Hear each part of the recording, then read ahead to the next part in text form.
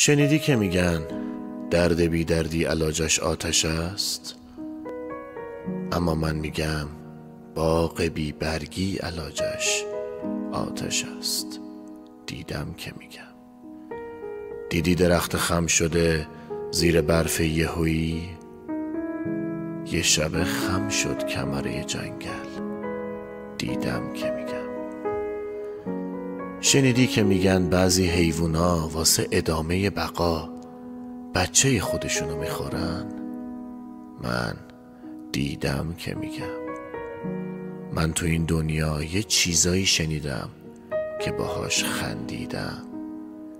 یه چیزایی دیدم که باهاش ابر شدم و باریدم. می‌دونی فرق ما چیه؟ تو شنیدی من دیدم چشم انتظاری رو بیقراری رو. شنیدی که میگن آدم به امید زنده است. من دیدم. اینجا کسی زنده نیست.